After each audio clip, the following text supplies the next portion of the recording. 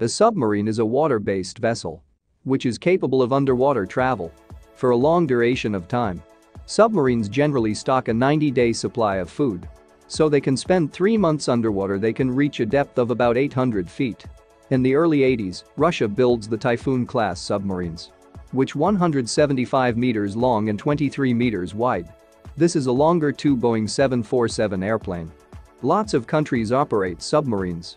The most powerful and often largest of these boats are capable of firing ballistic missiles, carrying nuclear warheads. Only six nations are confirmed to have these submarines. The US, UK, France, India, Russia, and China.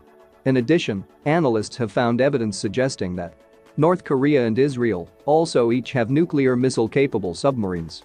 The total build cost of the submarines is approximately $320.5 billion. Approximately 3 to 4 years might be taken to complete the construction of the submarines. 134 crew working in the submarine. The engine is powered by a combination of diesel and electric propulsion.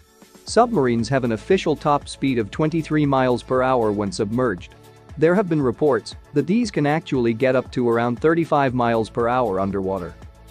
Let's explore the main parts of the submarine. This is the sonar. The sonar stands for sound navigation and ranging. It is a technique that uses sound propagation usually underwater. Sonar generates a sound wave that is reflected from target objects. These data are monitoring inside the submarine using a sonar radar display.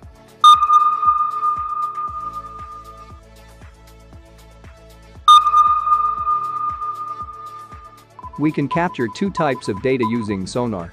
The first one is to identify any object on the water near the submarine. The second one is to determine the direction of the object near the submarine, such as ships, fishing boats, etc. This is sail.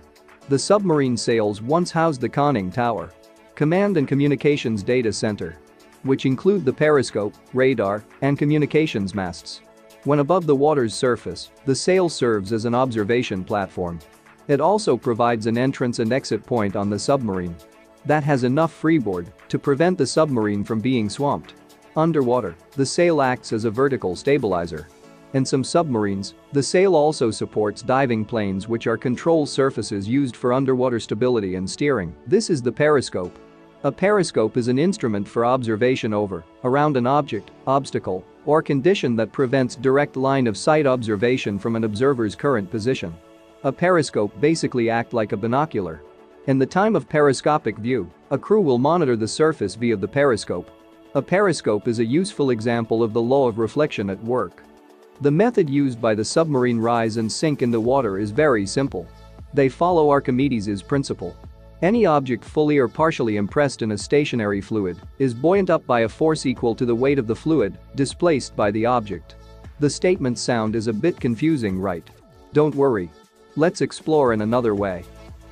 The submarine has three water holding tanks, called ballast tanks. Submarine contain three ballast tank. The forward and rear trim tanks, and the main ballast tank. The main ballast tank is used to move the submarine up and down, and the trim tanks are used to balance the submarine. The submarines are usually in underwater. The tanks are filled with water. The submarine is heavier than the surrounding water. So it will sink. When there is no water in the ballast tanks. Or the ballast tank filled with air. The submarine floats on the surface of the water. The submarine wants to dive into the water. The air vent flaps open. Then the water will be filled into the ballast tank. Then the submarine sink into the water. The controlling surface of the submarine consists of a pair of rudders and fins. A pair of fins are used to control the heave and pitch independently. The fins are mounted at the aft in the vertical plane, are used to change the lateral direction of the submarine when in motion. A rudder is a primary control surface used to steer the submarine, which controls rotation about the vertical axis of an submarine. These are the propellers. The rotating propeller drives the submarine through the water. The propeller is powered by a combination of diesel and electric propulsion engines. The submarine propeller design is so important to both speed and noise levels, it remains one of the most secret aspects of submarine technology.